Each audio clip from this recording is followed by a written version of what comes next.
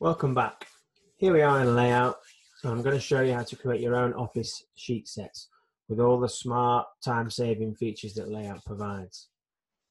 In this lesson, I've included a sample generic title sheet that I've created for you.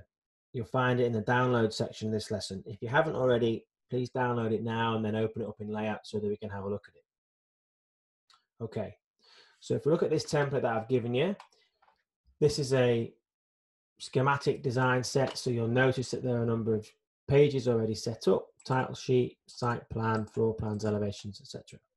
You'll also note that each sheet has a title block set up with placeholder text for project description, project number, date, scale, etc.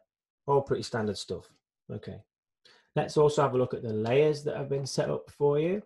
We've got three layers over here on in the layers dialog, which is one called title blocks, viewports, and page notes. Alongside these layers, you'll notice a little icon. These have a single page and this has a multiple page icon. What this indicates is that the, the layer title block is actually a shared layer. So everything that's on this layer appears on every single page. So we want our title block to be on every single page in the same location so we have it on a shared layer. The viewports are obviously going to be specific to each page. So they're on their own layer and the page notes will be specific to each page. It's easy to toggle um, whether this is a shared layer or not, just be, by clicking on this icon here. And you'll notice that the icon changes and I can change it back. The title sheet itself is a group just like you would find in SketchUp. And if I click on it, you'll notice that it's highlighted in red because it's on a shared layer. If I click on this drawing tag over here, that's blue because it's on the viewports layer. It should be on the page notes layer. Let's move that. If you right click, move to layer page notes, okay? But it's on only on, that instance is only on this page because each page will have a different drawing tag. The shared layer feature is really useful, especially for things like title sheets. Um, just simply changing a revision or changing a project name or something which is repeated on every sheet. Once you get into large projects, this can really save you time compared to something like AutoCAD where you've got to manually do it on each one. Okay, I want to also talk about auto text. You'll notice that each of these pages on the right has different names assigned to it. And you'll notice that where it says drawing title, the name also corresponds. If we go ahead and change the name of this drawing, let's just call it sections. You'll see that that automatically updates on the drawing sheet. If we also have a look at my page numbering system, I know we all do this slightly differently, but here I've got A as a prefix to indicate that it's part of an architectural set and this is the 100 series because it's the schematic drawings. We'll talk about this more later.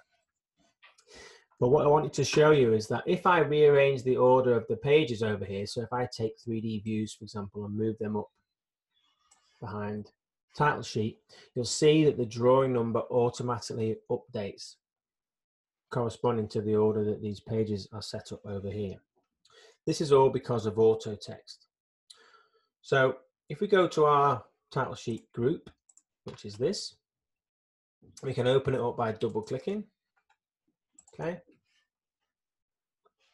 And then if we also double click one of these text items in here, so for example, we click on the drawing title, you'll see it's populated with this data tag, which says page name. This is the data tag that tells layout to pick up the names from the pages dialog opposite on the right hand side. If we look at the page number, double click that, you'll see I've got my A for architectural, my 1 for 100 series, and then a data tag which says page number. This again takes the information from the number of the page and populates it automatically. These auto text items are great time savers and you can find a full list of them by going up here to File, Document Setup. And then if we go to auto text, here they all are. You can also set up your own auto text tags just by clicking the plus icon here. And I like to use a custom text. So for example, client name.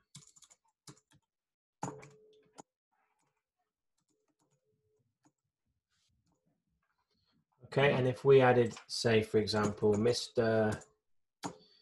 and Mrs. Jones into the into that data field, close this. If I now double click my title block and open where it says client name, I can select that text and go to text, insert auto text, client name. And you'll see it is now filled in with the data from the auto text field. Let's also have a look back at the numbering system. So you'll see here, once I go to page numbering, there's a number of different options you can change. I've wanted mine to start at zero so that the first page is 100. And I also want it to start the first page. You can choose if you want to start the second page, etc. You can also choose the style of the numbers. I went for this 010203 so that I had a three digit uh, drawing reference. But it's entirely up to you. These are really customizable, but they can be really, really useful. Okay. In the next lesson, let's look at how to create your own custom title blocks in Layout. See you there.